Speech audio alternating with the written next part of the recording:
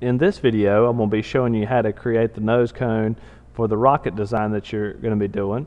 And we will have this shape, and we'll have this hole in the bottom, filleted here and angled up here, make it look nice like a nose cone. Notice we, what kind of features we have. We don't have too many features, but um, uh, what I'm going to do right now is actually roll this back so you can see the very first one. Oh, went a little too far.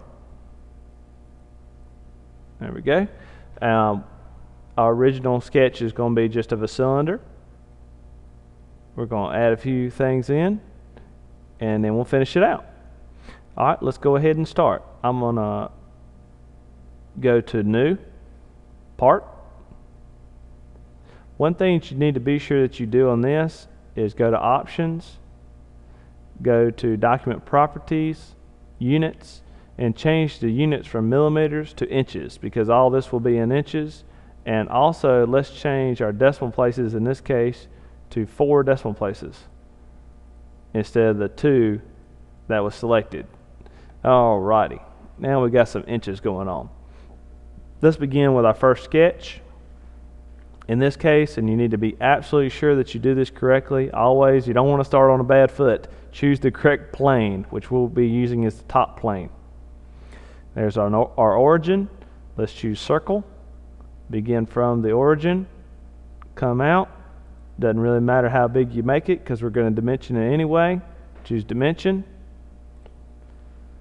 Mine says 3 inches, so it doesn't really matter right now because I'm going to change it to 7 eighths of an inch. 7 divided by 8.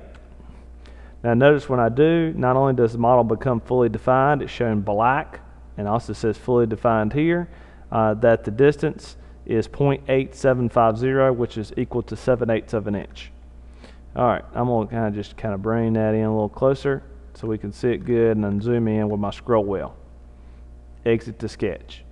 Now we've got our circle, it's time to extrude it. How far do we extrude it? In this case, 1.5 inches. Uh, you could choose the other direction. Doesn't really matter in this case. I'm going to just keep it uh, normally going up. Check. All right, that looks good, but it doesn't look like wood. Looks like the regular part file that SolidWorks makes. We're going to change the material. I'm going to choose material, then right click and edit the material. Close out my steel, open up my wood, choose pine. Notice that as we did that, the density is uh, pre-slugged as 340. Yours should be the same there. You won't be able to change it. And that's because uh, pine has a density of 340 kilograms per, I, I think that's meters cubed, is how you read that. Let's hit apply and close. You can see now our part is wood. Next, let's do a fillet on the bottom. I'm going to choose fillet. Choose this bottom.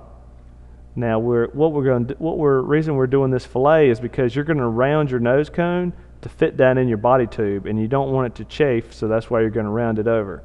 You could change the size to for example 0.15 uh, and you can see how that would update and how that looks.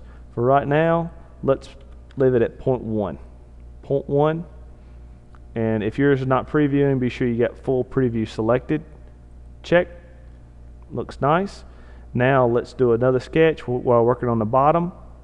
Choose circle be sure that we have this face selected and then we're going to draw a circle right in the middle. Come out. Really don't matter how far you just don't want to go way out long as it's in here. Smart dimension. We need to define it. Let's make this because we're going to be drilling this with a 3 8 drill bit so put in there 3 8 we've got that and now it's time to do a little cut exit the sketch extrude that cut and we don't want to go that far. That's all that's almost all the way through. We want to keep a blind end condition at a distance of also 3 eighths of an inch and let, let's see how that looks. Oh yeah that looks very nice. Check. Okay now we've got a hole 3 eighths of an inch. The reason for this hole you, what you're going to do is you're going to put in your shock cord uh, that will attach your nose cone to your rocket body tube and you'll glue it in in this hole. So that's what the hole's there for you could also change the view if you wanted to see it without those edges. Doesn't really matter in this case. Now we're going to do something new here. This is only 1.5 inches long. We're going to add another half an inch up and create a loft. And to do that, we're going to need a plane. And, you know, we've got the regular planes, the front, the top, and the right side, but I need a plane up here. So we're going to be creating reference geometry. And this is something I use quite often. Reference geometry, we're going to be creating a plane. Okay, uh, our first reference point will be the top of it, right here. And you can see what we're doing is we're creating a plane. Be sure that your plane right here is set 0.5 inches away. Uh, if you flip it, you can see it moves it down, but we want to go up. So be sure yours looks just like mine, that there's a plane sitting 0.5 or half an inch above the rocket nose cone. Hit check. Now what we can do, since we have that plane labeled plane 1, we can draw on it, which is exactly what we need to do. So we need to do a sketch. And oddly enough, we're just going to do one little thing on this plane. We're just going to draw a point. That's it. Grab a point. Be sure we're drawing on the plane, right there on the origin. Put a point. That's it. Exit the sketch. And you think, well, what in the world was that point needed for? Oh, you're going to see now because we definitely need that point. That's going to be the very tip of the rocket nose cone. Now that we've got that, I'm going to go to Features, create a loft. Here it is. I'm going to choose this plane. And you see it automatically goes to that point. Okay? Right there, the point and that face. And you can see how that's what that's kind of creating there. That's going to look great. Check. And now we've got that point. Now I think I think you understand to get this point we need that we need to draw that little point and to draw that little point we need the plane and so we need everything there. Now that plane is humongous and, and kind of in the way. So what I'm going to do is I'm going to go over here to plane, right click. I'm not going to delete it. I'm just going to hide it. Now I don't have to look at it. Okay, looking good. Just one more step and we're going to have this nose cone knocked out. We're going to do a little fillet around the edge here. Now that's not much of a fillet, 0.1 inches. Let's see how, how does 0.5 inches look. Got full preview on? Better. Let's see, 1 inch. Better. 1.5. Crazy. How about 2? Can't even go there. 2's too much. Let's put ours at 1.25 and see how that looks. That looks pretty good. I'm going to hit check. There we go. That's our nose cone if you wanted to, uh, if you if we wanted to change any of the fillets, it'd be easy to do. We just right click, choose edit, and could easily edit our fillets. But I think what we've got there is right. This would be a great nose cone. Be sure that your nose cone has the same features that mine has, and we will save this.